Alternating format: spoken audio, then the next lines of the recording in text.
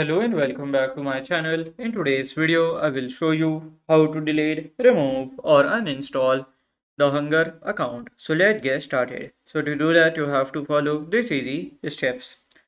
So first here you have to go to their websites and then you have to click on this client support. Then here you can just go to scan this or you can uh, just write the WhatsApp message that you have to delete the account and they will process. So this is how to delete, remove or uninstall the Hungrrr account. And if you find this video helpful, make sure you like, subscribe and share the video. Thank you for your watching.